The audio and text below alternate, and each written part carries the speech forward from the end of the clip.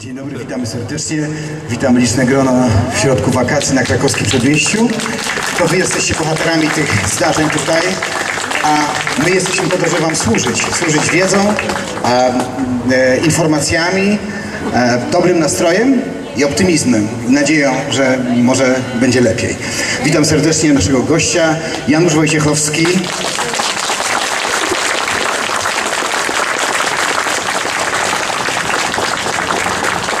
Co prawda polityka z takim doświadczeniem, z taką biografią nie trzeba zbyt długo przedstawiać. Ja powiem Wam, dlatego że pewnie Państwo znacie człowieka, który od wielu lat zaangażowany jest w życie publiczne.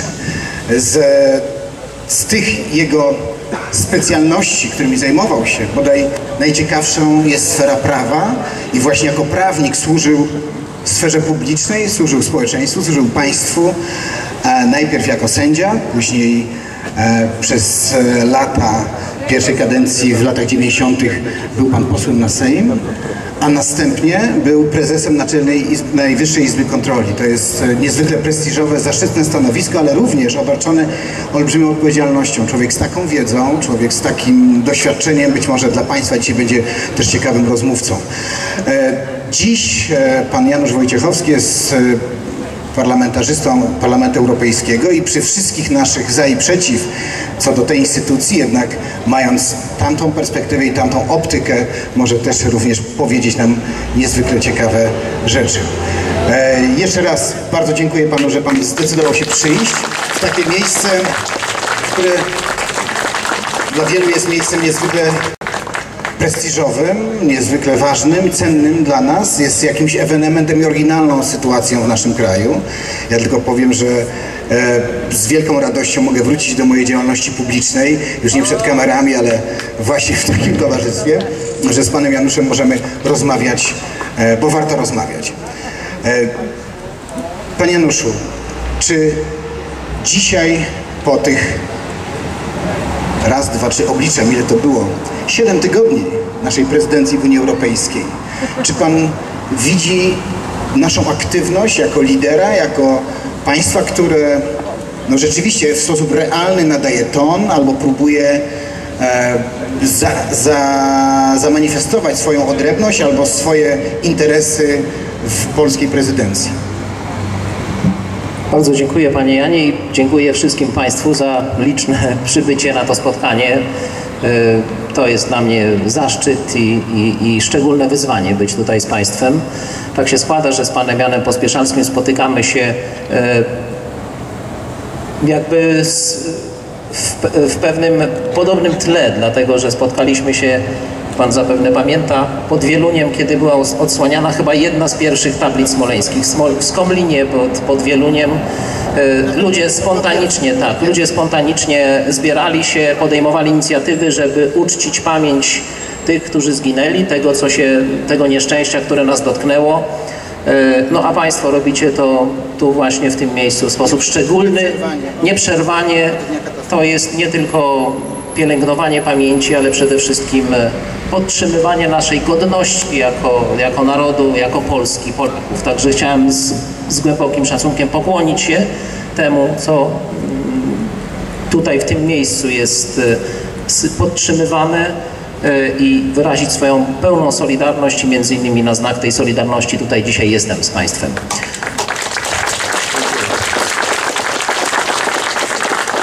Jeśli chodzi o pytanie dotyczące prezydencji, rzeczywiście no, jako poseł do Parlamentu Europejskiego jestem blisko tych e, spraw europejskich. Polska prezydencja z wielkim e, zadęciem e, propagowana, zapowiadana od dłuższego czasu. Jesteśmy już prawie po dwóch miesiącach.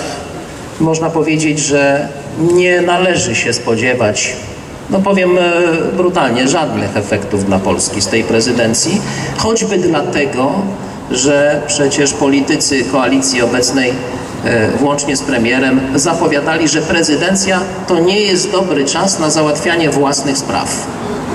Wszyscy, którzy, którzy sprawowali prezydencję, ja pamiętam prezydencję francuską, kiedy właściwie było, właśnie tak, Mówiło się ciągle o Morzu Śródziemnym. Nie było ważniejszych spraw w Europie niż basen Morza Śródziemnego i to, co się tam dzieje, bo to były sprawy najważniejsze dla Francji, która sprawowała prezydencję.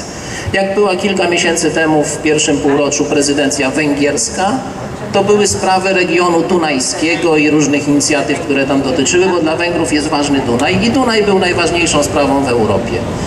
E, polska prezydencja nie zaproponowała niczego, co byłoby dla Polski szczególnie ważne, a ja chcę z, z żalem powiedzieć, że nie stała się priorytetem polskiej prezydencji sprawa rolnictwa. No, jesteśmy w sercu Warszawy, więc może te sprawy wsi i rolnictwa nie są tak bardzo odczuwalne, ale chcę powiedzieć, ponieważ tym się zajmuję, że to jest naprawdę wielki problem, lekceważenie problemu, e, lekceważenie spraw wsi.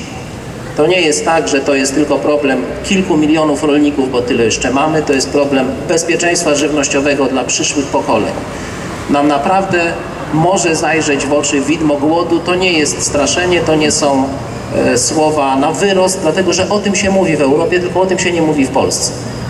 E, to, że premier Tusk e, e inaugurując prezydencję, przemawiał 24 minuty o rolnictwie, o problemach wsi, nie powiedział ani jednego słowa.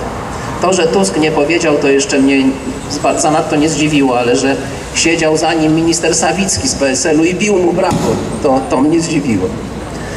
To tyle w tej kwestii. Nie wiem, czy przyjmiemy formułę, że będą pytania, czy coś jeszcze od siebie. Na razie korzystając z, tego mandatu, jaki mam, jak mało tego jestem też wypuszczony po tylu latach milczenia w sferze publicznej, dlatego pozwolę sobie zadać kilka pytań od siebie, a później Państwu e, udzielimy głosu. E, czyli sądzi Pan, że ten czas tego półrocza e, może być zmarnowany, czy jak inne kraje? Pan wspominał, że Francja e, akcentowała bardzo mocno sprawę basenu Morza Śródziemnego i, i swoje normalne interesy. Czy to nie jest też tak, że my mamy bardzo dużo swoich spraw do załatwienia, które można było przy tej okazji załatwić? Spraw do załatwienia jest, jest wiele, ale zawsze trzeba w tej polityce europejskiej wybrać to, co jest realne, to, co można załatwić i taką sprawą możliwą do załatwienia były sprawy rolnicze, za, e, które oznaczają konkretne pieniądze. To byłyby pieniądze do Polski, które by powinny przyjść do Polski, dlatego że nasi rolnicy są dyskryminowani od wielu lat, od początku członkostwa w Unii. Przykład takiej dyskryminacji? Na tej dyskryminacji nierówne dopłaty. Na hektar e, e, Francuz dostaje prawie 300 euro, ale bardziej bardziej z Niemcem możemy z Niemcami się porównać. Niemcy dostają na każdy hektar ziemi niemieckiej 350 euro, Polacy, polscy rolnicy dostawali 100, 120, 150, dochodzi to do 190 euro i na tym poziomie ma się zatrzymać. Będziemy tracili rocznie, yy, znaczy na, na, na każdym hektarze te 150 euro przez kolejne lata. Yy, przez 7 lat razy 16 milionów hektarów, bo tyle mamy ziemi, Polska straci mniej więcej 65-70 miliardów złotych i to jest, to jest skala tej dyskryminacji. Pieniądze, które powinny przyjść do Polski, a nie przyjdą. To jest sprawa, która mnie no, bardzo tak boli, bo to można było załatwić. Były szanse, żeby to załatwić, a dzisiaj te szanse się oddalają właśnie przez brak polskiej aktywności w prezydencji. A, czy na przykład inne rzeczy, kwoty mleczne, które są też dyskryminujące, inne rzeczy jak kwoty mleczne, które też są dla nas dyskryminujące. Dla przykładu mała Holandia ma większe kwoty mleczne niż większa obszarowo Polska. No, moglibyśmy wchodzić w szczegóły. Y, y, polityka rolna kształtuje się na lata 2014-2020. Kwoty mleczne akurat mają być zlikwidowane w 2015 roku, tylko że to już nas niewiele cieszy, bo, bo w Polsce nie ma krów. Ja jestem ze wsi, proszę Państwa, na wsi się wychowałem i w mojej rodzinnej wsi kiedyś pasło się 200 krów na łąkach, a dzisiaj ani jedna. Więc to jest to jest w wielu, w wielu regionach Polski całkowicie hodowla została zlikwidowana. E, to jest e, sprawa, która za niedługi czas da o sobie bardzo boleśnie znać. Dzisiejsza drożyzna, proszę Państwa, żywności. Kto kupuje żywność, to no, każdy kupuje, więc wszyscy, wszyscy odczuwamy to. To nie jest przejściowa sprawa i to nie jest wina rolników, to nie jest wina wsi, to jest wina właśnie tego, że wieś się nam kurczy i likwiduje. Płaci się coraz więcej za żywność, bo coraz więcej trze- trzeba jej importować. Z, e, I cała, to, to dotyczy w różnym stopniu całej Europy, tylko że w Europie już się to dostrzegło i zaczyna się zmieniać podejście do spraw rolniczych. W Polsce nie. I to jest problem, że no ja tak kiedyś wypowiedziałem się publicznie, może niezbyt elegancko, ale to powtórzę, że takiej głupoty w mówieniu o sprawach wsi, jaką słyszę w Polsce, nie słyszę nigdzie w Europie. Takiego niezrozumienia dla tego, czym jest wieś i że Polska jest jedna, to znaczy tak samo ważna jest Warszawa, tak samo ważne jest każde inne miasto, jak, jak i wieś. Polska musi być traktowana jako jeden, jedna ojczyzna.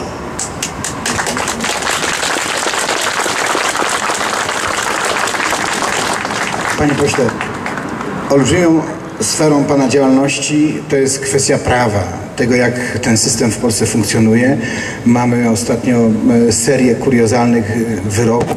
Ja nie będę tutaj... Ja nie będę wracał tutaj do znanej Państwu e, procesu e, Jarosław Marek Rynkiewicz kontra Agora. O tych rzeczach jakoś prasa pisze. Na szczęście są portale internetowe, to jest zorientowane bardziej zorientowane, zorientowane bardziej konserwatywnie, bardziej niepodległościowo, bardziej prawicowo. I o tym wiem. Ale jest cała masa, taki obszar ludzkiej krzywdy, którą Pan e, bierze na siebie. Znaczy przychodzą ludzie i bardzo często proszą Pana o pomoc. Z czym najczęściej ludzie przychodzą? No proszę Państwa, to jest chyba przedmiotem mojej największej troski. To, co dzieje się w Polsce w zakresie, no właśnie takiej ludzkiej krzywdy, Pan, pan to trafnie nazwał. No, Polska jest w świetle Konstytucji demokratycznym państwem prawnym, tak to jest napisane w Konstytucji, ale skala różnego rodzaju krzywd, biorących się z tego, że gdzieś y, bardzo nasiliła się takie zjawisko, które nazywam arogancją władzy. Y, To dotyczy różnych instytucji państwowych i to nie jest nawet kwestia ludzi, no ludzi, ludzi zawsze też, e, którzy tam za tymi urzędami, znaczy w tych urzędach pełnią swoje funkcje, ale też pewnego systemu, braku kontroli nad, e, nad tym, co ludzie w imieniu państwa robią. No, sądy mamy niezawisłe, sam byłem sędzią, niczego lepszego tutaj e, się nie wymyśli, bo nie, sądy muszą mieć ten przymiot niezawisłości. No ale już niezależna prokuratura, to co zrobiła obecna koalicja e, głosami PO, e, PSL-u i SLD, wprowadzenie niezależnej prokuratury, która w tej chwili jest no, wyłączona spod e, w zasadzie wszelkiej, wszelkiej kontroli. Państwo nie ma wpływu na ściganie przestępczości, bo nie ma wpływu na prokuraturę. Nie ma oficjalnie wpływu, bo ci, co gdzieś tam R- różnymi to też drogami e, różne sprawy są załatwiane, można się domyśleć tego. E, Natomiast zwykli ludzie na tym cierpią. Ja no, mógłbym tutaj mówić, sypać przykładami no, tragedii ludzkich przez to, że nie mogą się doprosić elementarnej sprawiedliwości w Polsce. I ci ludzie są bardzo samotni, bardzo opuszczeni w swoich, w swoich troskach, w swoich zmartwieniach. Proszę Państwa, no tu przed chwilą dz- dzwonił do mnie człowiek, nawet już nie mogłem odebrać telefonu, oddzwonię do niego później. Pod, podam przykład takiej sprawy. E, Niewielka firma rodzinna, która zajmowała się sprzedażą paliw, z powodu drobnego błędu formalnego, który, który nie wyrządził państwu żadnych strat, no, została potraktowana w starym PRL-owskim stylu domiar i takie podatki, że nie tylko firma została zlikwidowana, ale cała rodzina z torbami po prostu idzie. E, jeżeli interweniuje na rzecz tych ludzi, zresztą także już uruchomiliśmy innych parlamentarzystów, e, odpowiedzi są takie, że bo apel, e, apelujemy o to, żeby umorzyć te należności podatkowe. Państwo nie, nic z tego nie będzie miało, jeżeli się zniszczy tą rodzinną firmę i tych ludzi się puści z torbami. Odpowiedź jest taka, że tak, e, urząd może umorzyć te podatki, ale nie musi, bo ustawa mówi, że może. No, muszę powiedzieć, no niedaleko stąd jest Rzecznik Praw Obywatelskich i odbyłem osobistą rozmowę z panią Rzecznik i nie, nie jestem do końca zadowolony z tej rozmowy, a nawet powiem wcale. Bo próba wytłumaczenia tego, że e, no jak to? To znaczy interes państwa, bo tam jest taki przepis, jeżeli ważny interes państwa przemawia za tym, żeby umorzyć, to trzeba umorzyć. A urzędnicy i pani rzecznik to potwierdza, mówią nie, może, ale nie musi. Ja się pytam, proszę pani, czy pani profesor, czy wyobraża sobie pani taką sytuację, że interes państwa przemawia, żeby umorzyć, a urzędnik może nie umorzyć? To co decyduje o tym? Prawo decyduje, czy też widzi mi się urzędnika? Że ktoś jest, nie wiem, e, łysy, to mu się umarza, kędzierzawy to nie, albo ktoś jest wysoki, to mu się umarza, niski to nie. No różne można kryteria tutaj wybierać. No to, to nie jest państwo prawa. Jeżeli tak no, funkcjonują urzędy, instytucje państwowe, wtedy można człowieka bardzo łatwo zniszczyć. I, i nie, ma, e, na te, nie ma na to e, jakby no, obrony. I to jest największy problem. Myślę, że następna władza, która w Polsce będzie, wierzę, że to będzie władza, która będzie dobrze dbać o polskie interesy, to, to musi naprawdę zrobić porządek z polskim prawem i to jest, to, to jest duże przedsięwzięcie.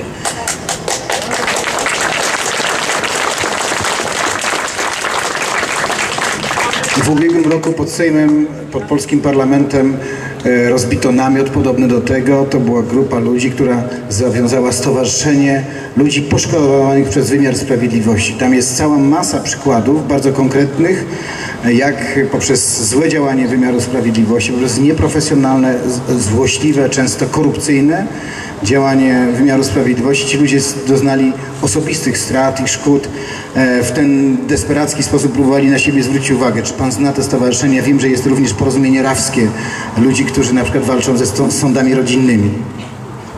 Tak, no ja mam, ja mam naprawdę mnóstwo tych spraw. No moim problemem jest to, że nie jestem w stanie, y, zresztą nie, nie sam tym się zajmuję z, gru, z grupą prac, współpracowników, ale po prostu tego jest tak wiele, że naprawdę trzeba wielu, wielu y, ludzi, wielu działań, żeby mm, to jakoś zmienić. I to myślę, że to już pojedynczymi działaniami się nie, nie naprawi tej sytuacji. To są naprawdę potrzebne y, duże zmiany dotyczące y, systemu. Pierwszą rzeczą, którą powinien zrobić nowy rząd, to przywrócić to, co było, jeśli chodzi o prokuraturę. Nie, nie, nie naprawi się, to znaczy żaden rząd, żaden parlament nie naprawi sytuacji w Polsce, jeżeli nie będzie miał e, takiego instrumentu, jakim jest prokuratura. I to, e, proszę Państwa, jest jedyny sposób, żeby, znaczy no pierwszy sposób, może nie jedyny, Polski żeby to zmienić. Polski parlament tej kadencji pokazał, że może w sytuacji, gdy chce, coś załatwić bardzo szybko. E, niedawno po cichu zmieniono ustawę, która sprawiła, że Komisja Sejmowa nie mogła przesłuchiwać e, Ryszarda Krauzego ponownie, nie mogła postawić mu zarzutów, ponieważ już był przesłuchany jako świadek. To była kuriozalna sytuacja. Nie wiem, czy pan e, e, monitorował tą historię, czy obiło się pan o uszy. Ta ustawa była bardzo niedawno. Chodziło o to, aby ochronić interesy wielkiego biznesmena Ryszarda, Ryszarda Krauzego. Okazji, że polski parlament szybką ścieżką legi- legislacyjną potrafił to zmienić. Być może być może w sytuacji, w której jesteśmy teraz, też będzie można szybko e, rozstrzygać, tym razem nie na rzecz wielkich biznesmenów, ale na rzecz prostych, zwykłych obywateli. E, Panie pośle, zbliżają się wybory. Pana obecność w Parlamencie Europejskim sprawia, że jakby jest Pan troszkę poza e, środowiskiem Prawa i Sprawiedliwości, poza tymi bolączkami, z którymi się e, dzisiaj boryka Prawo i Sprawiedliwość. Jednym z postulatów, które tu często pod tym namiotem padają, to jest kwestia walki czy troski o uczciwe wybory. Pod, e, ludzie w różnych miejscach w Polsce, jak jeżdżę, spotykam się, mam na spotkaniach autorskich też bardzo często kontakt z ludźmi, którzy przychodzą, przynoszą konkretne przypadki. W Białej Rawskiej, w Pana regionie, konkretny przypadek, zgłoszenie fałszerstwa wyborczego do prokuratury, e, kamień w studnie. Żadnego efektu, żadnej e, reakcji.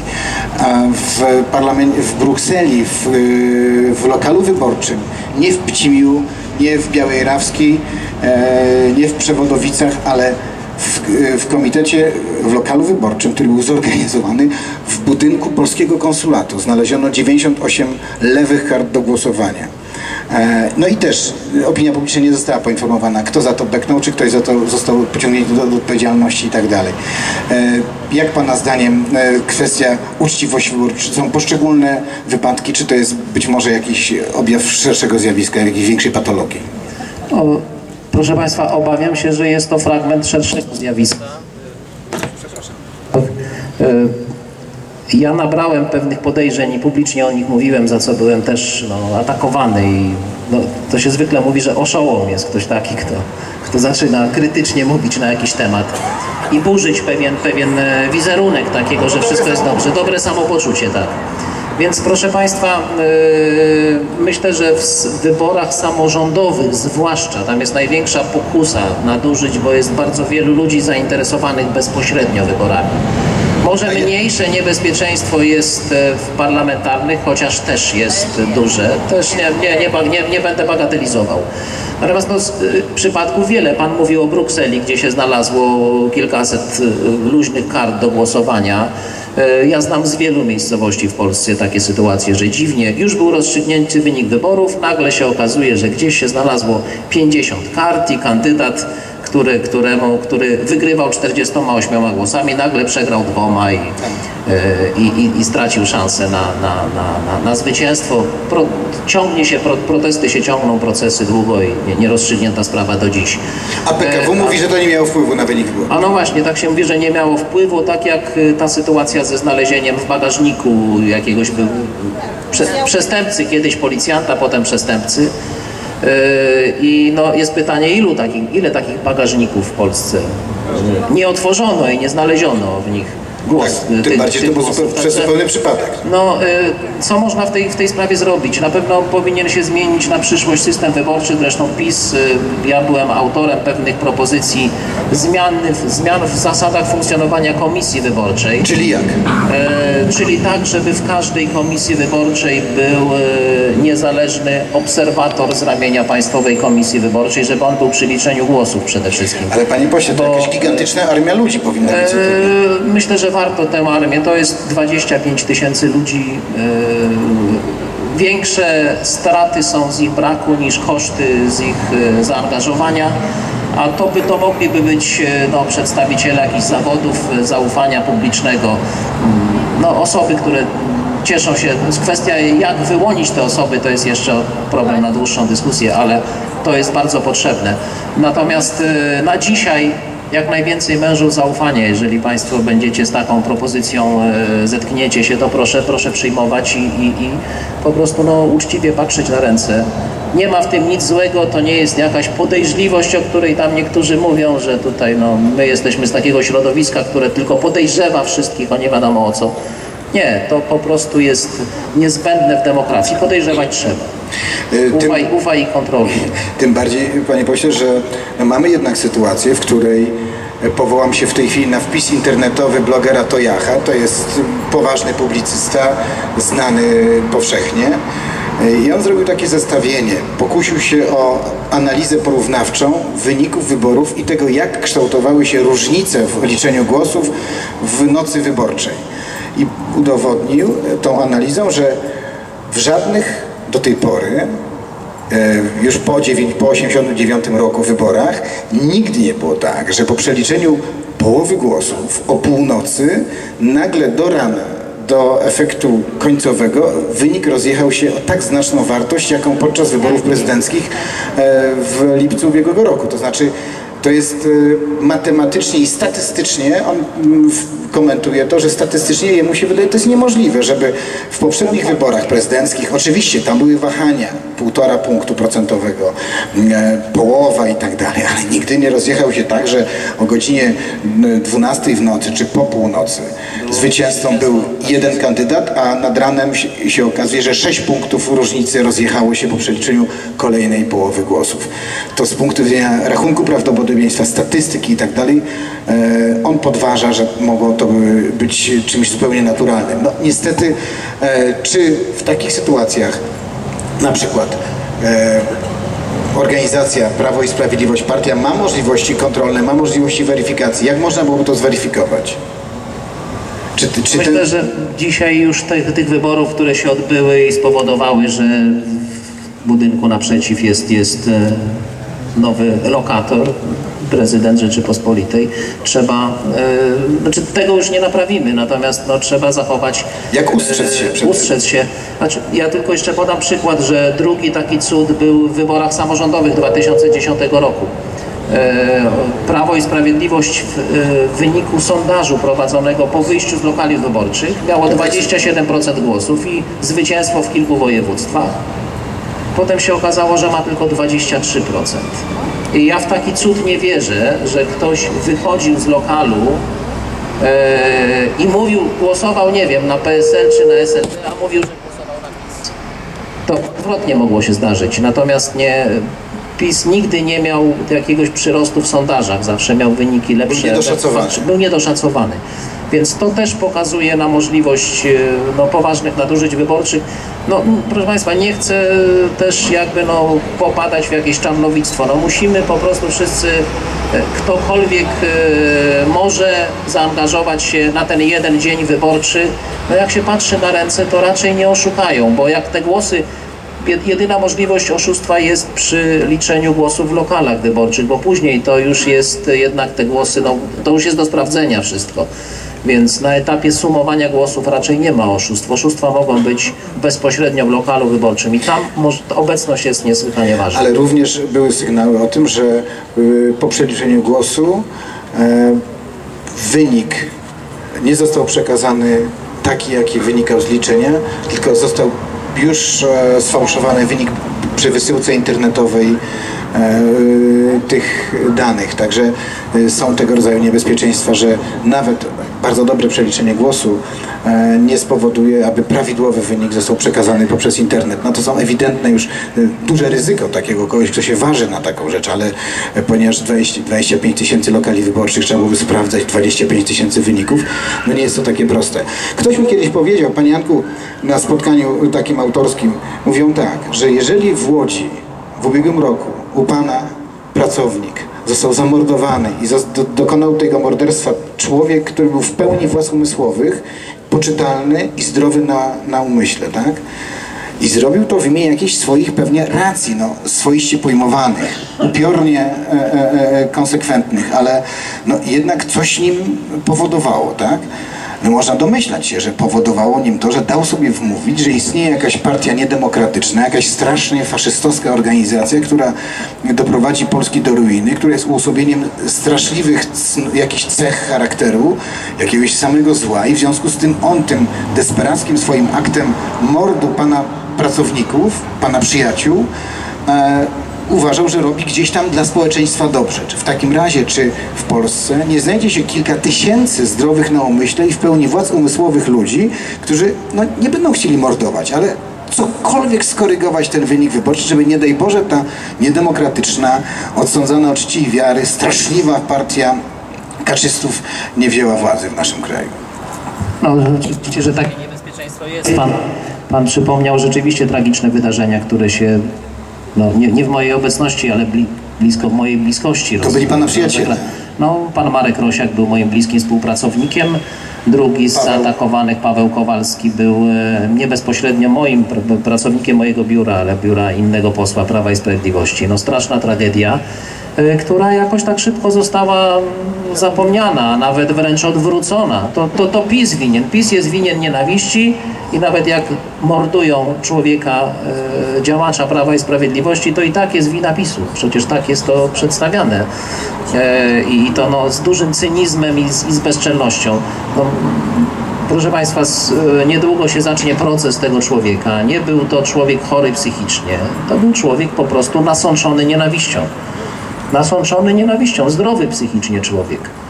No ja tylko mogę e, sobie wyobrazić, co by się działo w Polsce, gdyby, no nie daj Boże, żeby to w drugą stronę też miało się zdarzyć, ale, ale nawet chory psychicznie, ale gdyby z, Poszło- krzyczał z nienawiścią do Platformy, zaatakował, nawet nie zabił, ale zaatakował kogokolwiek z Platformą, to już byśmy mieli dawno delegalizację PiSu i w ogóle Bo byłoby jedno wielkie szaleństwo w Polsce. A tak to nic się nie stało, ciszej nad tą trumną. No, takie, było, takie było podejście i takie jest do tej pory, więc... My nie będziemy, nie będziemy milczeli, e, będziemy na pewno obserwowali ten proces, nawet jako niezależni dziennikarze, e, nawet bez dostępu do mediów. Natomiast e, wróćmy do osoby pana Marka Rosiaka, zamordowanego, tej ofiary tego mordu politycznego.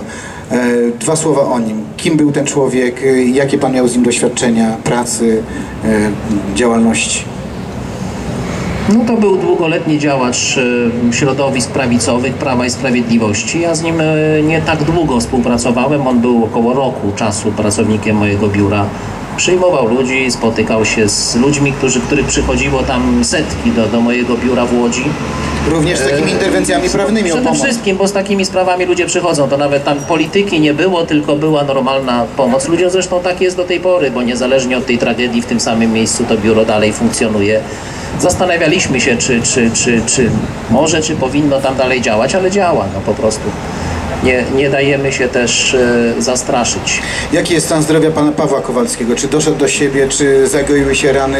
On miał poderznięte gardło, widziałem, widziałem sam rany, byłem pierwszym dziennikarzem, który dotarł do niego do szpitala. Wraz z panią Ewą Stankiewicz byliśmy z kamerą, ale e, no, nie mieliśmy zgody na publikację tego, bo on był w trakcie przesłuchań przez prokuraturę i nie chciał, aby informacje uzyskane od niego przez nas trafiły wcześniej do opinii publicznej, zanim nie złoży pełnych wy- wyjaśnień. No, fizycznie jest w dobrym stanie, natomiast no, psychika po takich e, przeżyciach e, długo wraca do normy, a czasem nigdy, więc Czy wrócił do pracy w biurze? E, nie, jest na, na, na, y, dalej na zwolnieniu lekarskim. A czy y, rodzina pana Marka Rosiaka została otoczona opieką, czy dostali rentę, czy jest jakiś rodzaj, nie wiem, zadośćuczynienia, odszkodowania ze strony państwa? No przykro powiedzieć, ale nie. Ja się zwracałem do pana premiera Tuska o rentę specjalną dla pani Haliny Rosiak. Premier ma takie możliwości. E, ze swoich, no, władczą swoją decyzją, bo pani no, małżonka jest, no mo- może nie w jakiejś biedzie, ale, ale wiadomo, mąż zginął i, i sytuacja jej jest e, zdecydowanie pogorszy, pogorszyła się. Premier odmówił udzielenia Czyli, tej pomocy. czyli była ewidentna odmowa. Podobnie i- zresztą, no bo pan, pan Rosiak był pracownikiem e,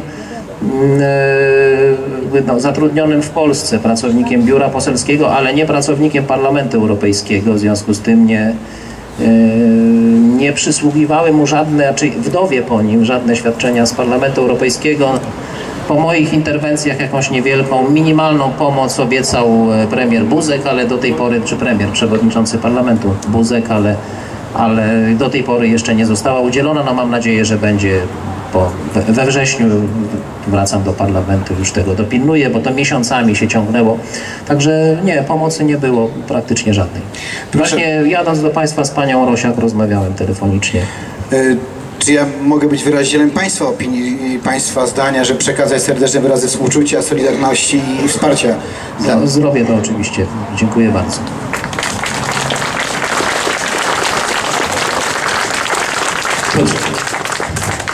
Proszę Państwa, mówimy tak no, o, o smutnych i bolesnych rzeczach, więc może, żeby tak lekko się od tego... Albo inaczej, może teraz oddajmy pa- Państwu głos, tak? No właśnie, to może tak. E, Bardzo proszę, czy są pytania? Bardzo prosimy, eurodeputowany Janusz Wojciechowski, długoletni prezes NIK, człowiek o olbrzymiej wiedzy o tym, jak wygląda walka z korupcją w naszym kraju. Ja krótkie pytanie. Mamy, bardzo proszę. Przepraszam, ja mam prawo e, wyborcze, prawda, że mogę coś... Najpierw imię mówimy. Ludwik Michał, że ja po prostu mogę korzystać jakby z tajnego głosowania, prawda? Ale ja na przykład nie chcę. Ja chcę się na tej karcie wyborczej podpisać, żebym nie był sfałszowany. Podać swoje nazwisko, swój adres, prawda? I po prostu ja, ja się nie wstydzę, że należy do PiSu, że ja chcę głosować na PiS i w ten sposób uniemożliwię po prostu jak, jakieś fałszerstwo, jakieś fałszerstwo, prawda? Ponadto proponowałbym, żeby każdy przyszedł z własnym długopisem, bo ten długopis, który leży tam na stoliku, to łatwo potem można, prawda, tym samym długopisem komuś dostawić jakiś krzyżyk czy, cokol, czy cokolwiek innego. Ja mam jeszcze inne pomysły, złożę je na piśmie yy, do, prawda, Komisji Wyborczej, ale podałem takie dwa najważniejsze uważam. A to proszę inne. To mam taką prośbę do Pana, czy mógłby Pan ten y, o- plik tego, tych swoich pomysłów, ten, tą korespondencję również przesłać na stronę Solidarni 2010, wydrukujemy to, opublikujemy. Bardzo proszę. No wie pan, ja panu na przykład dałem swój artykuł, na pewno pan go nie przeczytał, no. Kiedyś na promocji z panem posłowi również dałem ten artykuł y, u, y, prawda, y, na promocji książek y, pana Rafała Zienkiewicza. Nie wiem, czy pan pamięta, pan był na promocji. No ale wie pan, rozumiem, że nie ma pan czasu, więc nie nalegam, a cenię pana osobę. Ale, ale te pomysły kon- to jest coś konkretnego, to można przekuć w czyn. Za, Więc zapamię- ja, więc ja te pomysły, ponieważ jeszcze dzisiaj pisałem coś, no nie zdążę, bo miałem te pomysły dzisiaj przygotować i wręczyć na piśmie, ale uczynię to. To tutaj na, na, na, na, pod namiotem będziemy czekali na to. Dziękuję serdecznie. Kto jeszcze? Pan mówił o tym, trzeba zmienić prawo. Nie proszę pana, trzeba zmienić urze- mentalność urzędników. To jest szkawka po PRL-u. Państwo, a obywatel G. I jeżeli panowie tego nie zrozumieją, to 30 praw nie zmieni niczego. Dziękuję. No w tym, w tym sensie ma pan, ma pan rację, że e, najlepsze prawo w ręku złego urzędnika no jest, jest nie, nie, nie, na niewiele się zda. To znaczy powiedziałbym, że lepiej jeżeli e, złe prawo stosuje dobry sędzia, dobry urzędnik, to on wyciągnie z niego to, co i tak e, dla człowieka jest e, dobre, natomiast tego, który na to zasługuje oczywiście, natomiast jeżeli nawet najlepsze prawo stosuje zły urzędnik, to on zawsze znajdzie e, sposób, żeby mimo tego prawa człowieka skrzywdzić. No ale tym niemniej, proszę Państwa, no, prawo nie może być mętne przede wszystkim. E, Z moich stron rodzinnych, znaczy ja pochodzę z tych stron, z których pochodził Andrzej Frycz-Modrzewski, autor słynnego dzieła o poprawie Rzeczypospolitej z 1551 roku, a więc 400, 500, e, 460 lat temu, przepraszam. E, I on pisał, że, pa- pamiętam już tak luźno o tym mówię, że prawo powinno być pisane słowami znacznymi, żeby ich nie można było wykręcać, bo od tych nieznacznych słów dużo nam się wykręcaczów narodziło i powodów do rozmaitego prawowania dało. Także dzisiaj czter- 460 lat minęło, a my jesteśmy w tym samym miejscu. Słowa Frycza Modrzewskiego są dalej aktualne. Jeszcze dwa słowa dopowiedzi tutaj od... Proszę pana, ale czy pan widzi jakąś drogę zmienienia mentalności tych urzędników?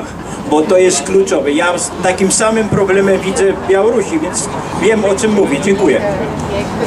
Nie, to znaczy, proszę pana i proszę państwa, no, jeżeli ktoś jest arogantem i, i znaczy nie ma wrażliwości takiej na drugiego człowieka, to się spotyka w różnych zawodach. No, różni, różni są urzędnicy, różni są sędziowie, różni są lekarze. Różni są, rzecznicy praw obywatelskich, E, jak to różni, różnie, różna jest wrażliwość ludzka, natomiast e, no, e, taki urzędnik, jeżeli ma jeszcze na dodatek mętne prawo, że on może tak albo siak załatwiać sprawę, no to to już w ogóle nie ma, nie ma na niego sposobu. Tak można mu przynajmniej jakoś e, przy pomocy tego prawa wykazać, że, ma, że nie ma racji. E, I dlatego prawo jest też ważne, ale zgadzam się z panem, że no, prawo i no, sędzia musi mieć prawo i sumienie. Jak nie ma sumienia, to co z tego, że, że, że ma prawo? Nie mają interes. Imię i interes. E, Mam na imię Danuta, moher typowy, piesiara dodatkowo. E, e, Panie pośle, witam Pan w ogóle. Chciałam powiedzieć taką rzecz. Ja dzisiaj usłyszałam wywiad z prezesem Jarosławem Kaczyńskim, wystawionym kandydatem w Białymstoku i przyznam szczerze, mnie to zszokowało, bo jak może, ja wiem, to jest inny, to jest inny pan Jarosław Kaczyński, wiem o tym, ale jeżeli się wywiady przeprowadza w telewizji, prawda, i się sugeruje, że jest to pan prezes Jarosław Kaczyński, to ja osobiście jestem tak wściekła, no, no nie wiem, co mam zrobić. W tej chwili nie mam aktualnie w domu komputera. PJN wystawił, tak, PJN wystawił takiego prezesa Jarosława Kaczyńskiego. Także e, chciałam to powiedzieć, bo, bo nie mam aktualnie komputera w domu. Ale ani pan poseł, ani Nie, no to to znaczy, wpływu. proszę Państwa, oczywiście y, to jest, y, słyszałem, wszyscy słyszeliśmy o tym y, incydencie, to no, czy nikomu nie można zabronić y, kandydowania, że się nazywa Jarosław Kaczyński, czy Janusz Wojciechowski, czy, czy, czy Jan Pospieszalski, choć to nie będzie ten akurat Jan Pospieszalski, tylko inny, ale to y, tego nie zabronimy, natomiast no, trochę się ośmieszają ci, którzy ci, którzy to, to robią, no bo to, to widać, że brakuje im pomysłu, siły i się pod, podszywają pod kogoś, to, to, to, jest, to jest... Myślę, że ludzie się na tym poznają jednak, no. Odróżnią tamtego Kaczyńskiego od właściwego. Y, Panie pośle, teraz ja skorzystam z okazji i zadam pytanie jeszcze, które przysz- przyszło mi do głowy, bo widzę tą liczną publiczność i tę- tą sytuację, która jest e, fantastyczna, jest piknikowa, mamy piękne e, popołudnie sierpniowe, stoimy w jednym z najbardziej uroczych zakątków naszego kraju. E, Niemniej e, nawiążę do tego, co wydarzyło się w, w dniu otwarcia, inaugura- in, w dniu inauguracji naszej prezydencji w Parlamencie Europejskim. Poseł Ziobro z posłem Kurskim w swoim wystąpieniu zwrócili uwagę na to, że w Polsce łamane są standardy demokracji, że nie ma wolności słowa, że brutalnie ograniczana jest debata publiczna i stosowane są zabiegi cenzurowania, usunięcie całej rzeszy dziennikarzy z mediów publicznych, wy, wykluczenie całej sfery pewnej wrażliwości jest łamaniem demokracji. To trochę popsuło szyki panu Tuskowi podczas e, tej inauguracji. Czy był pan przy, przy tym e, podczas tego wydarzenia? No, oczywiście byłem i w pełni się solidaryzowałem ze słowami y, Ziobry, y, kolegów, którzy się, którzy się wypowiadali w tej sprawie. Proszę Państwa, uruchomiono taką, właśnie, e, uruchomiono taką kampanię, że no jak można oczerniać Polskę za granicą. Polski, Polski nie wolno oczerniać za granicą, ale rząd Prezydenta krytykować byłego. wolno. Wolno krytykować rząd, to nie była krytyka Polski, to nie było oczernianie Polski, nie wolno. Nie wolno naszej historii opluwać, nie wolno polskiego narodu poniżać, tego nie wolno robić nigdzie. Ale mówić, że rząd polski źle postępuje, że w Polsce są łamane prawa, nie wiem, dziennikarzy, wolność jest naruszana, to nie jest oczernianie Polski. To jest po prostu krytyka, do której każdy ma prawo. Prawdę trzeba mówić wszędzie, zawsze, nie ma. Panie pośle, a może to jest takie... Może, może, niektórym, może niektórym już się nałożyły pewne pojęcia, że Polska to ja. Był kiedyś taki no, tak, król. Tak, tak. Francja to ja, tak, Ludwik XIV. Ale proszę Państwa, yy, no przecież ci, którzy teraz tak krytykują, korzystali z tego bez yy, z, z, żenady, atakując yy, rząd PiSu Jarosława Kaczyńskiego. Co myśmy słyszeli? Proszę Państwa, rezolucje całe były podejmowane. E, Parlament Europejski myśmy walczyli, no ale w mniejszości byliśmy. Podobno ile człowiek, ile razy człowiek ma rację, tyle razy jest w mniejszości. To Churchill tak mówił. Ile razy miałem rację, tyle razy byłem w mniejszości. Także czasem nie przejmujmy się, jak nawet nie, nie mamy tej większości, kiedyś ona może przyjdzie. E, I e, no. Rezolucje były podejmowane o łamaniu praw człowieka w Polsce, o y, antysemityzmie, homofobii, jakiejś tam y, antysemityzmie, no o wszystkim co najgorsze przypisywano y, Polsce i to w oficjalnych dokumentach. Przecież tego nie wymyślili Francuzi, y, Niemcy, Szwedzi, tylko to z Polski przyszło. To przez Polaków inspirowane, zresztą polscy europosłowie z lewicy i, i niektórzy z Platformy za tym głosowali. A dzisiaj się oburzają, że ktoś coś krytycznego powiedział o polskim rządzie. Wolno krytykować, jeżeli na to zasługuje, wolno krytykować wszędzie. Na tym polega demo, dem, demokracja. Natomiast nie, mol, nie, wo, nie wolno mówić źle o Polsce jako o naszej ojczyźnie. I o polskiej historii, co doświadczyliśmy niestety z bólem teraz 1 sierpnia w kontekście Powstania Warszawskiego, wypowiedzi ministra, uwaga, spraw zagranicznych. Jest pytanie z publiczności, bardzo proszę. Panie Januszu, Imię. Dariusz Komorowski. Notabene. Ale, ale nie kandydujesz. Ten właściwy Komorowski, zacznijmy, ale pomijając. E, czy nie czas może zebrać jakieś grono ludzi i nie mówmy już o uczciwości, stwórzmy mechanizm, mechanizm w prawie, który będzie uniemożliwiał dla najpierw uczciwych, a później bandytów, zbrodniarzy, robienia tego, co robią w systemie prawnym. Czy nie czas w naszym kraju wprowadzić ławę przysięgłych z prawdziwego zdarzenia, komórkę społeczną, która zastąpi obecny, y, obecną prokuraturę i nagrywaną każdą sprawę. To jest jedna rzecz. Druga, wybory, jawność wyborów. To, co pan przed chwilą mówił, że podpisze się z imienia i nazwiska. Ja też bym chciał właśnie, że po wyborach sprawdzę, będę miał dokument, że zagłosowałem na Franka Dolasa, a nie na jakiegoś tam, no już nie będę mówił, ku. Rozumie pan o co chodzi? I sprawdzę później sobie na internecie, czy ja, Dariusz Komorowski, zagłosowałem na Franka Dolasa. No tak, zgadza się. Patrzę, nie zgadza się. Idę i odpowiedzialna osoba za ten stan rzeczy, że coś się nie zgadza, odpowiada za to fizycznie i karnie. Ale nie, że będzie coś zagmatwane, zamydlone i tak dalej, i tak dalej. Wybory trzeba wygrać. Czyli wróćmy do tego Państwa, pierwszego. tak. Zmiana prawa, Nie, ale nagrywanie, wrócimy- nagrywanie tak. rozpraw. To dobrze, e, nagrywanie rozpraw absolutnie tak, no, to ma być wprowadzone. A był taki e, postulat Nie, nie, postawiony. jest, jest i to nawet już są podstawy prawne stworzone, żeby było nagrywanie rozpraw i ono będzie, nie wiem, w ciągu roku powinno być prowadzone. To jeszcze stary postulat pisowski pod... No Zbyszek Ziobro to... E, tak, on to, za, on to zaczął, ale to opóźniane było, bo w budżecie nie ma pieniędzy, ale na Przecież pewno to- będą, e, na Panie- pewno, to, panie to na pośle- pewno dużo zmieni. Panie tak. pośle, przecież elektronika kosztuje dzisiaj tak śmieszne Tak, pieniądze, tak. się Nie. wszystko miniaturyzuje, no to jest żart jakiś, jak to? Tak, ale ta, skądinąd, skądinąd wiem, że w sądzie nie, e, i w prokuraturach papier jest limitowany.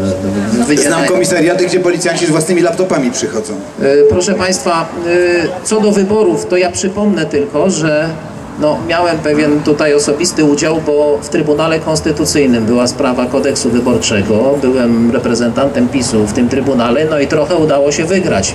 Przede wszystkim, że nie będzie dwudniowych wyborów. To jest, to jest ważne. Ale ile było o to walki, że przecież Konstytucja mówi dzień wyborów. A jak dzień, to jest no... To dzień, a nie dwa dni, a nie tydzień, tylko dzień. No, któryś nawet z sędziów Trybunału, bo yy, kwest- te, też miał wątpliwości i mówi, że no tak, ale na przykład, yy, nie wiem, w prawie się mówi student ma prawo do czegoś, to nie znaczy, że jeden student, tylko tysiące studentów. No, i- no tak, ja mówię, to, do studenta to może akurat dotyczyć, to słuszna uwaga. Ale jak konstytucja mówi prezydent, no to jeden, to znaczy co, to możemy sobie wybrać pięciu prezydentów? Nie, bo konstytucja mówi prezydent, to znaczy, że jest jeden. No i to przekonało Trybunał. E, Poza tym, e, no proszę Państwa, to może nie, nie, nie, niektórzy mogą to kwestionować, ale, ale walczyliśmy o to, żeby była wolność spotów i billboardów, znaczy spotów telewizyjnych i billboardów.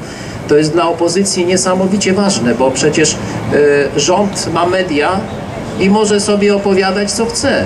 Co, co chwilę robić konferencje, e, imprezy różne, za, teraz prezydencja, będzie do tego wiele okazji.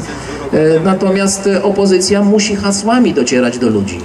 I, I to jest niesamowicie ważne, że tę wolność w zakresie spotów i, i tych e, e, billboardów się udało obronić. Natomiast nie udało się przekonać i to no, Trybunał się podzielił, ale większość była za tym, żeby jednak to dopuścić. Głosowanie korespondencyjne i głosowanie przez pełnomocników. Niestety to będzie pole do nadużyć.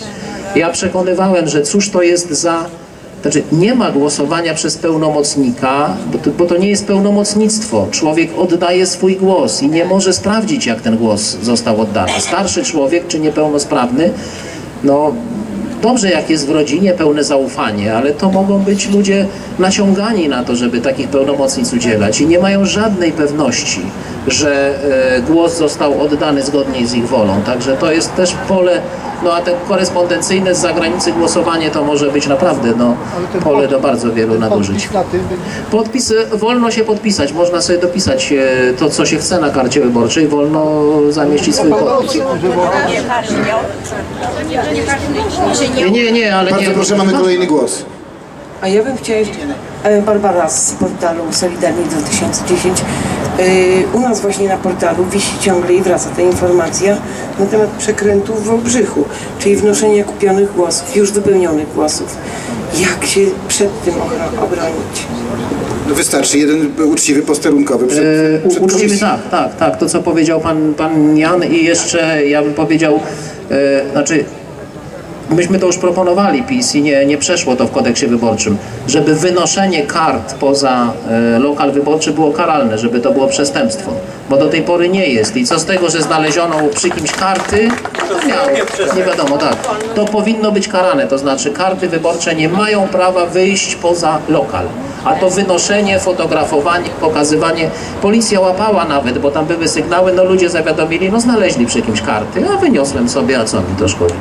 Ale w prawie nie jest zabronione. Nie jest zabronione. A jeśli osoba za tą zasłonką wchodzi, yy, schowa tą kartę, wyjmie wypełnioną, tą czystą schowa, wynosi, tam ktoś zaznacza. Nie, no Właśnie to znaczy, proszę to Państwa, to zna, tak, to na tym polega, tylko że y, no, do tej pory, znaczy w tej chwili nawet tego ścigać nie można, bo to nie jest zabronione. Czy jawne wybory. No, no tak, no. To, Bardzo proszę.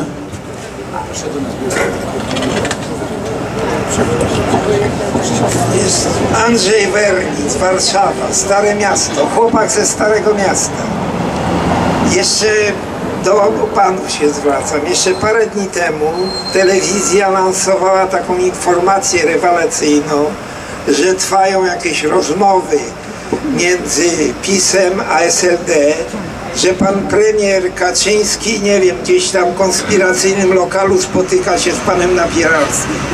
Tymczasem, proszę państwa, wczoraj na, w lokalu Związku Dziennikarzy na Foxa, ale mówię to dlatego, że poszedłem tam, bo chciałem się z tymi panami spotkać, doszło do podpisania, można powiedzieć, już oficjalnego sojuszu.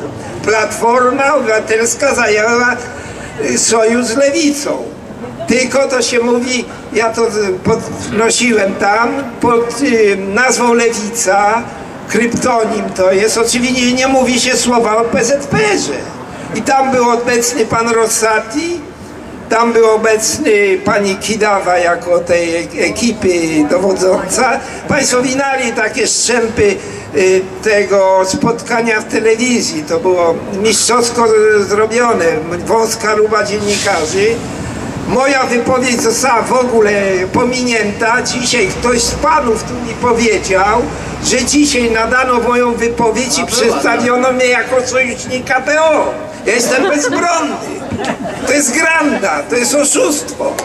Ja zwróciłem się do towarzysza, mówiłem, do towarzysza profesora Rosatiego, żeby mi wyjaśnił dlaczego i, i tu wszystkim Polakom był pierwszym sekretarzem partii w PiSie, dlaczego był doradcą towarzysza Rakowskiego.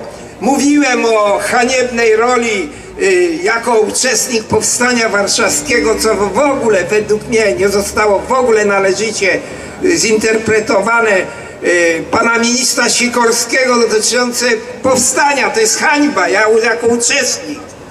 Ja napisałem parę listów, wiem, że y, do pana prezydenta, do ministra obrony i tak dalej. To jest haniebna sprawa. I więc chciałem, y, kończąc, żeby pan był łaskaw, z, y, z, jakie jest pana zdanie na temat, komentarz do tego sojuszu ewidentnego już, powtarzam, Platforma Obywatelska zależła y, i to się mówi o lewicy, o lewicy, o lewicowym skrzydle PO. No, proszę Państwa, e. Może ja nie jestem e, jednym z jakichś e, polityków kreujących, jestem w Brukseli i, i no, nie jestem w ścisłym kierownictwie PiSu, natomiast kategorycznie wykluczam, żeby Jarosław Kaczyński czy ktokolwiek z PiSu prowadził jakieś rozmowy z SLD. To na pewno nie ma miejsca.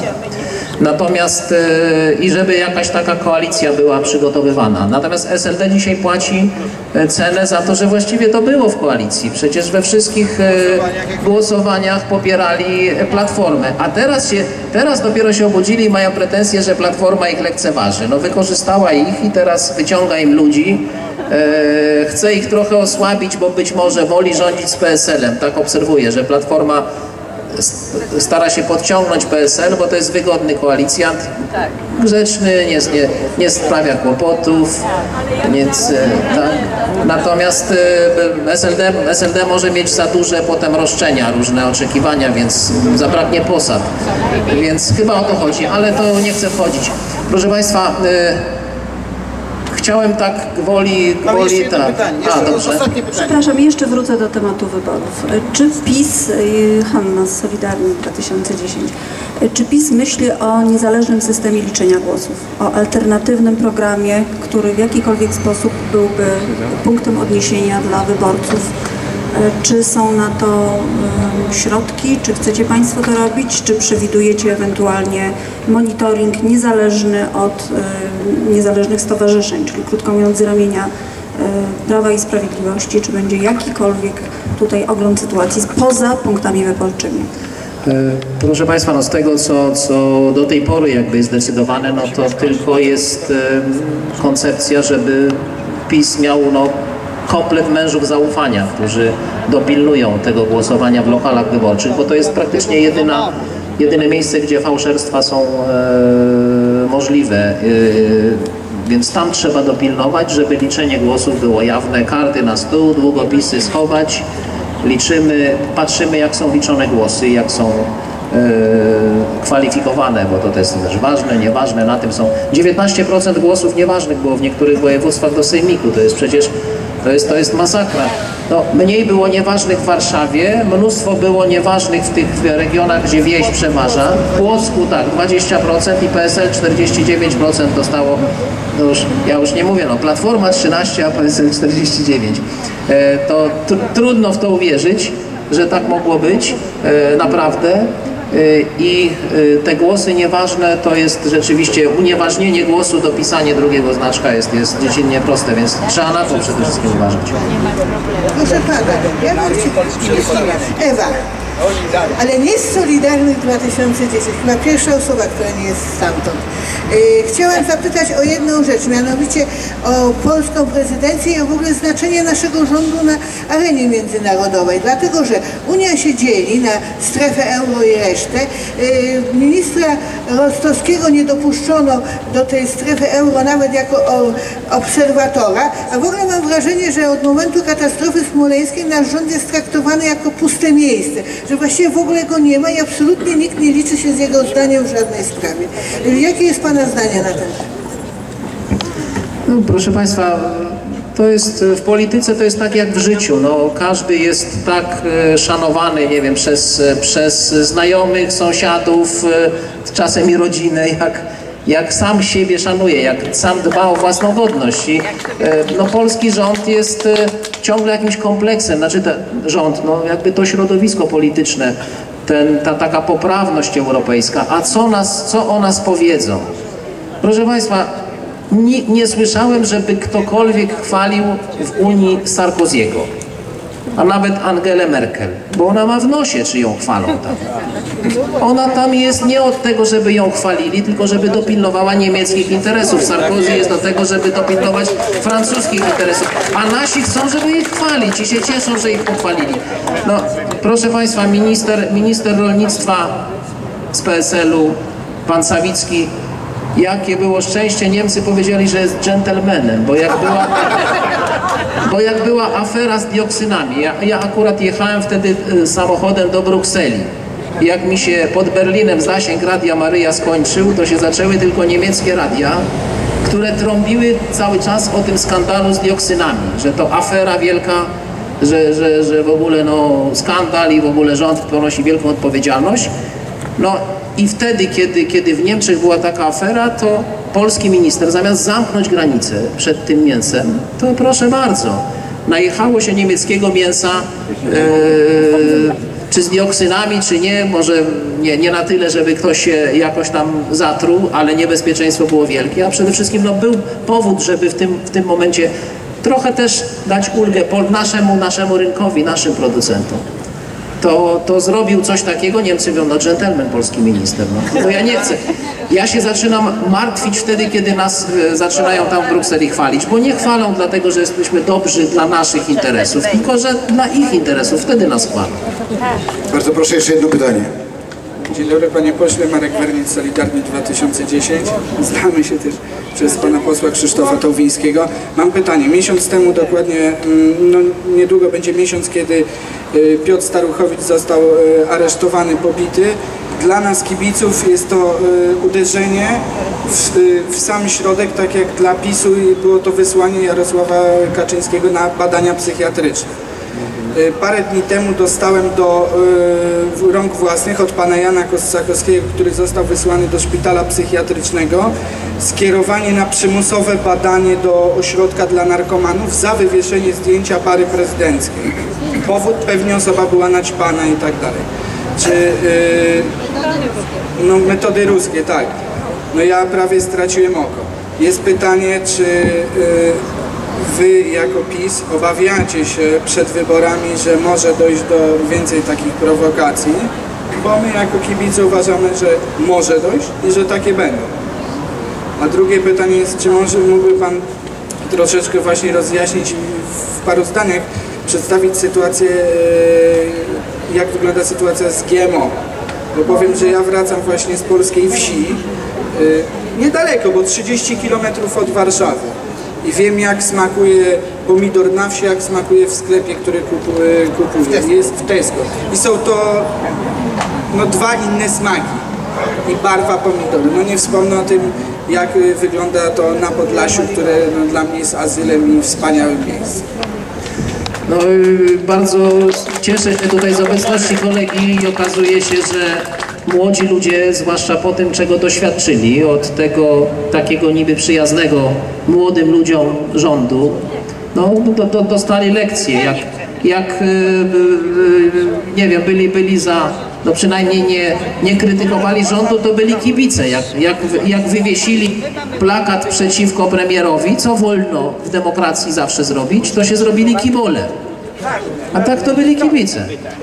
Nic nie zrobili, nikogo, nie wiem, nie napadli, nie pobili, nie, no, wywiesili transparent, to, to, to stali się kibolami.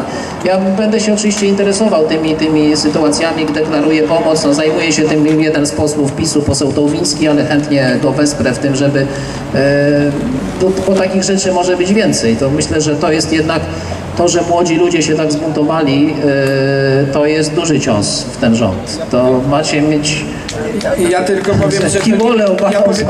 Panie pośle, ja powiem tylko, że to, to nie jest pierwsza sytuacja, bo rok temu, kiedy były derby, policja pod zarzutem posiadania plastikowego widelca na komisariaty w Radomiu i w Płocku, bo brakowało ich w Warszawie, wy, wywiozła 747 kibiców, za co komendant otrzymał koszulkę z widelcem i z numerem 400, y, nie, 747. A to, PiS jest, a to PiS jest tą partią represyjną. To tak, proszę Państwa, przypomnę e, takie jedno ze spotkań w nawiązaniu do tego, co tu młody kolega powiedział. E, proszę Państwa, tak, e, proszę Państwa, dwa lata temu przy, przed wyborami europejskimi na spotkaniu w jednej z wsi, ze wsi województwa łódzkiego jeden z rolników mówi tak, wie Pan, Panie Wojciechowski, na Pana to bym może i głosował, ale na PiS nigdy. A ja, się mówię, a ja mówię, ale dlaczego na PiS nigdy? Bo oni to wszystkich podsłuchiwali. A ja, się pytam, ale wie pan, ale, ale kogo podsłuchiwali? Pana podsłuchiwali?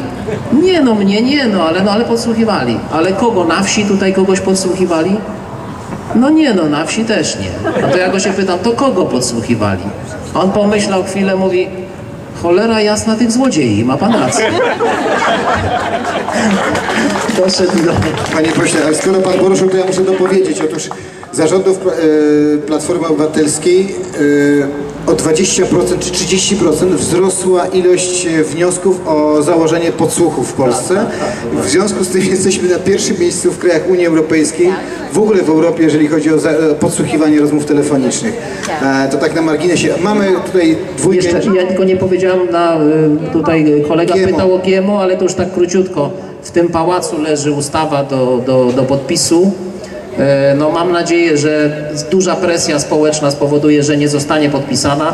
Proszę Państwa, ja po, no, jestem jakby kombatantem walki z GMO w Parlamencie Europejskim. Po sześciu latach y, trudnej batalii 5 lipca tego roku Parlament Europejski przegłosował wreszcie pozytywnie decyzję, że każdy kraj członkowski, jeśli zechce, może zabronić GMO. I w tym czasie nasza koalicja Bocznymi drzwiami. bocznymi drzwiami bardzo szybko uchwaliła ustawę o nasiennictwie, która już nie będę wchodził w szczegóły, ale jakby niweczy tamten, to co dała Bruksela, to oni zabrali.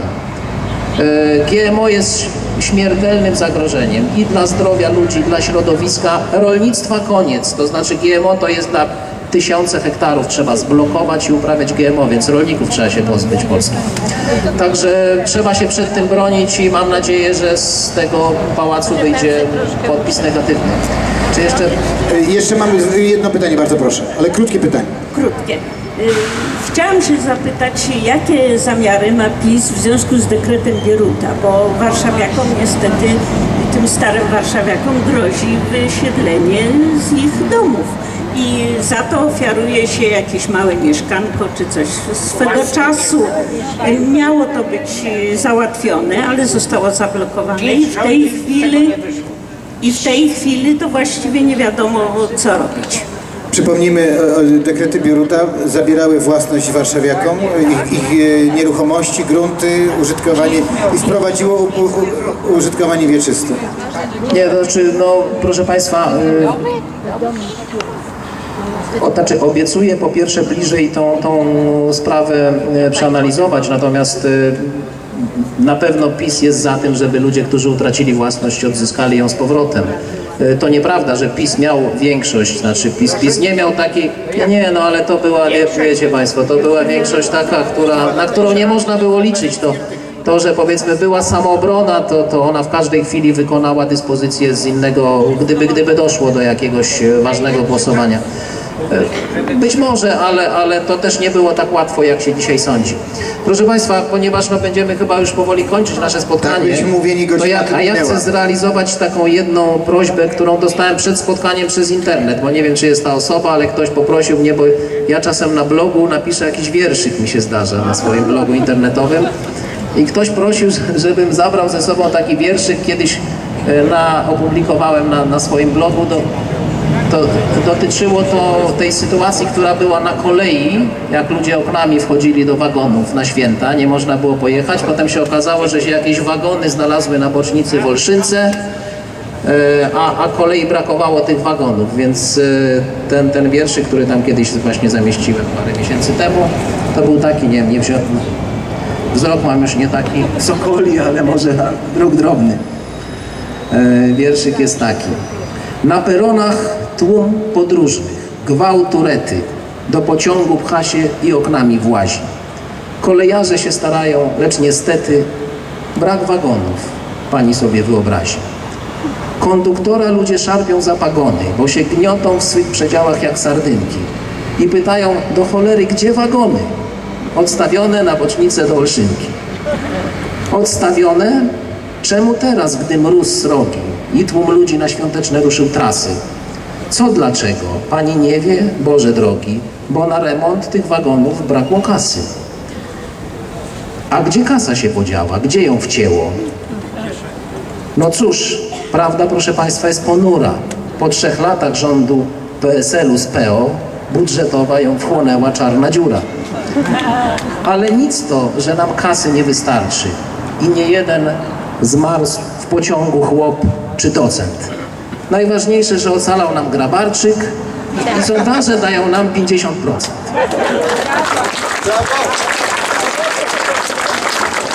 Kochani, dziękujemy serdecznie. E, Dziękujemy serdecznie. Gościem spotkania pod namiotem Solidarni 2010 był eurodeputowany pan Janusz Wojciechowski. Wielkie brawa, dziękujemy serdecznie. modelu samolotu Polemarków 154M przez podrędzia. A, Bardzo dziękuję. Proszę Państwa, ja chciałem pokłonić podziękować za, za tak liczną obecność, za naprawdę miło, miłe spotkanie, miłe rozmowy. E, No, nie gaśmy tego ducha nas Polaków, który, który tutaj jest tak pięknie podtrzymywany. Y, cieszę się, że w gronie tak wspaniałych ludzi mogłem spędzić, spędzić czas. Bądźmy pełni nadziei, proszę Państwa. I bądźmy solidarni. Dziękuję bądźmy serdecznie. Solidarni. Dziękuję bardzo. Prawo i sprawiedliwość zwycięży!